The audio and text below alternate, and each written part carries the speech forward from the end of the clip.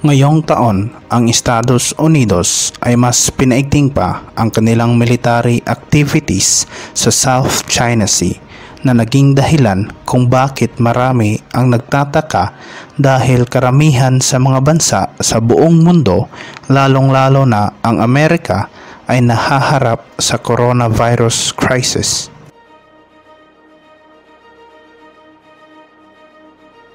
Habang ang bilang ng mga ginagawang tradisyonal na US intelligence, surveillance at reconnaissance ay pareho lamang kumpara noong nakaraang taon, ang iba namang mga military activities katulad ng Freedom of Navigation Operations ay dumadami.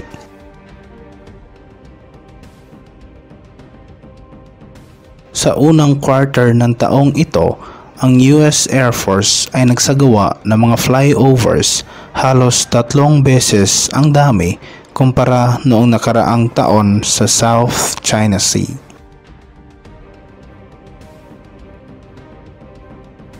Ang US Navy ay nagsagawa ng apat na Freedom of Navigation Operations sa South China Sea sa unang bahagi ng taong ito Kasama dito ang dalawang sunod-sunod na FONOPS kumpara sa walo lamang noong 2019.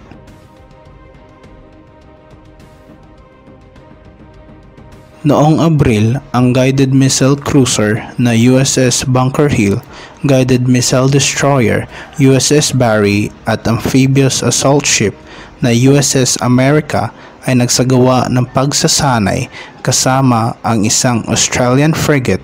malapit sa pinag-aagawang mga isla ng China, Vietnam at Malaysia sa South China Sea.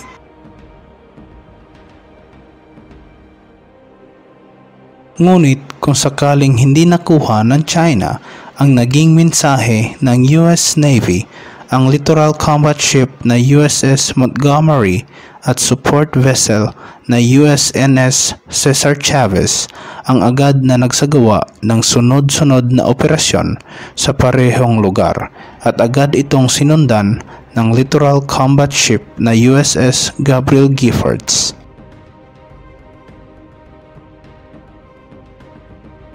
ang dumadaming military activities ng Estados Unidos ay marahil sa isang kombinasyon ng mga kadahilanan ang isang teorya ay baka ang Estados Unidos ay nauubusan na ng pasensya sa China sa lahat ng bagay at ang enhanced activity ng US military sa strategic at contested na karagatan ay isang sinyalis ng pagkasira ng ugnayan ng dalawang bansa.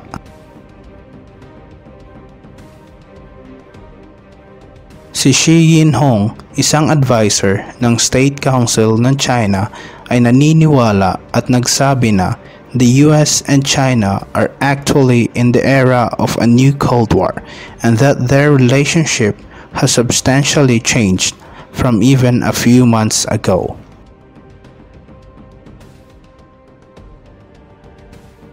Sa madaling salita, ang pag-igting ng umiiral na tensyon sa South China Sea ay bahagi lamang ng pagkahalatang pagkasira ng relasyon na kinasasangkutan ng trade, cyber theft, Taiwan, ang international order at kompetisyon para sa isang hegemonya sa Asya.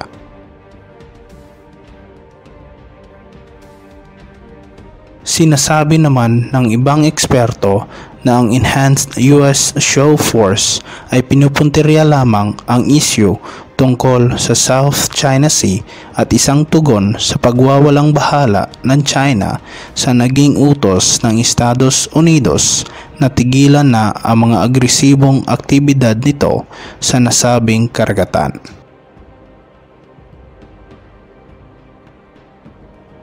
Itinuturo ng mga eksperto ang kontrobersyal na banggaan ng isang Chinese enforcement vessel at ng isang Vietnamese fishing boat ang pagbuo ng China ng bagong administrative districts sa South China Sea at ang mga itinayong research stations sa dalawang isla sa Spratlys na nasasakop nito at ang pagdeploy ng Carrier Strike Group ng PLA sa lugar.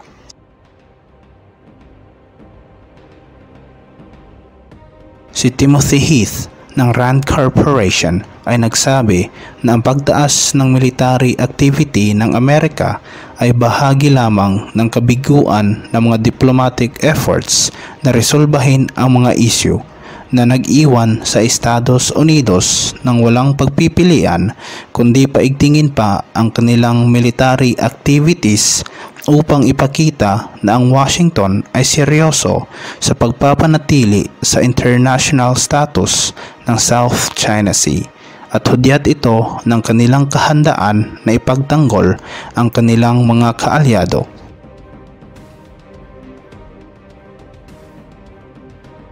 Ang iba naman ay nakikita ang ginagawang hakbang ng Estados Unidos bilang isang pagtataguyod sa international order sa South China Sea. Pagtupad sa pangako nito na panatilihin ang isang rules-based order sa karagatan. Sinabi ni US Pacific Fleet Commander Admiral John Aquilino na China must end its pattern of bullying Southeast Asians out of offshore oil gas, and fisheries.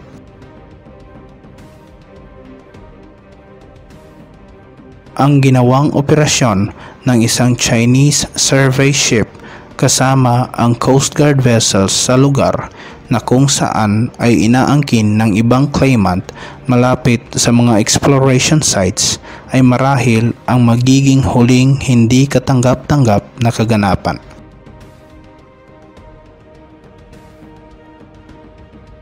Kung patuloy na papayagan ang China sa kanilang mga pananakot sa mga rival claimants nito sa South China Sea, ang ganitong presensya ng mga Chinese vessels ay maaaring maging mas karaniwan sa hinaharap.